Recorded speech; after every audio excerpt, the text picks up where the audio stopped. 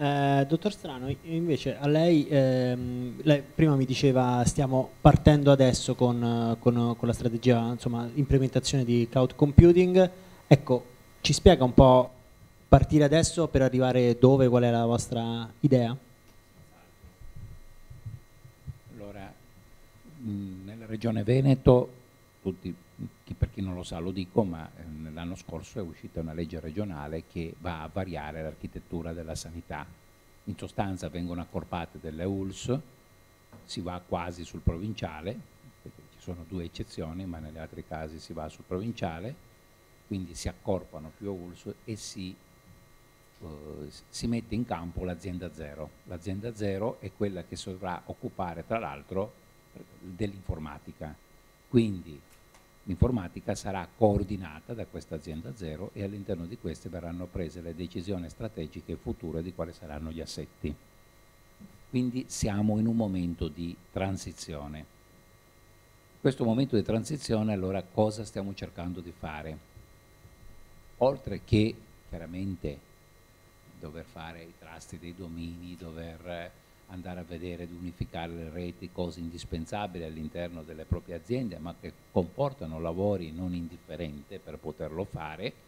e questo è sicuramente una cosa che bisogna fare abbastanza rapidamente perché qualunque, le, qualunque siano le future decisioni strategiche su cosa sarà fatto, eh, è necessario che ci sia una rete ben funzionante e che sia vista eh, con le nuove aziende con la capacità totale dell'azienda. Ci troviamo ad avere dei data center che, nel nostro caso, tre ex aziende, di cui una ne aveva due,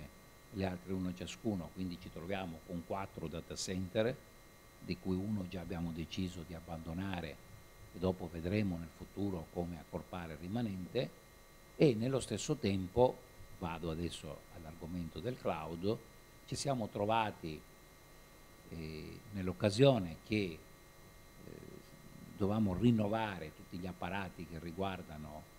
eh, la guardia, che riguardano la, eh, il 118, quindi un servizio che era già previsto provinciale, e così abbiamo esposto alla Regione due progetti, uno che utilizzava il cloud, uno tradizionale, i costi erano equivalenti, la Regione ci ha dato indicazione come noi preferevamo, cioè di andare tramite la strada del cloud.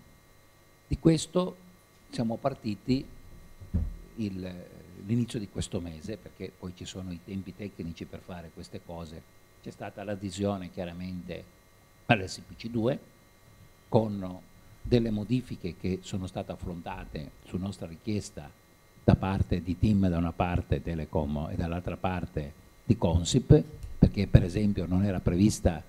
l'assistenza la, nelle 24 ore, ma c'erano buchi notturni di sabato e di domenica che invece per un 118, ma anche nella sanità in generale, non sono accettabili, è stata accettata questa modifica e quindi si è partiti con un contratto che prevede tra l'altro l'assistenza nelle 24 ore. E cosa significa questo e cos'è il 118? Cos'è il 118 penso lo sappiamo tutti. Sostanzialmente è quel servizio che va a gestire l'emergenza per tutta la provincia significa che c'è una centrale unica che nel nostro caso si trova nella caserma dei vigili del fuoco perché in modo da avere un unico centrale per l'emergenza assieme ad altri e che però ha dei punti di riferimento nel territorio che sono tutti i pronto soccorsi da una parte e dall'altra parte sono anche eh, gli apparati mobili che vanno in giro con oh, le autoambulanze, quindi possibilità anche su questo di poter transitare dati che nel passato andavano nella centrale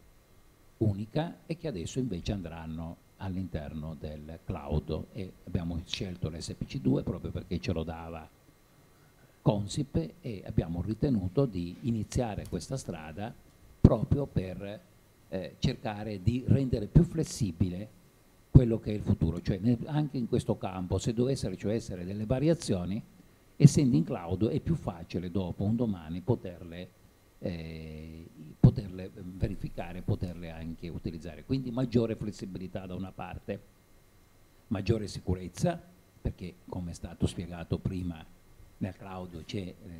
eh, la, la ci sono due sistemi fra loro distanze che ci consentono non solo di avere il backup ma anche business continuity e quindi ci danno una maggiore sicurezza di quella che c'era precedentemente e queste state le motivazioni delle scelte che ci hanno portato a dire andiamo in questa strada. I risultati eh, io spero che siano buoni, le dobbiamo vedere un pochino più avanti, ma spero proprio che siano buoni, direi ottimi dovranno essere, non buoni. Tanto ne è che anche per un altro servizio aggiuntivo eh, andrò via qui prima perché eh, eh, dobbiamo proprio prendere delle decisioni per fare altri servizi aggiuntivi che è la guardia medica e quindi anche su quella andremo ad attestarla in cloud. Quale sarà invece il futuro? Quale sarà il futuro? Qui dipenderà dalle scelte che farà l'azienda zero da noi. Perché? Perché stanno già predisponendo una serie di gare per andare a cambiare all'interno delle aziende, per unificare i sistemi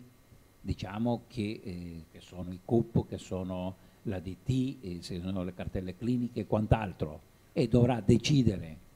quindi l'azienda zero se riterrà di inserirle all'interno delle aziende o se invece, magari come auspicabile, all'interno di un cloud che potrebbe essere più flessibile. Questo è quello che posso dire in questo momento e mi auguro che le cose vanno secondo le valutazioni che abbiamo fatto.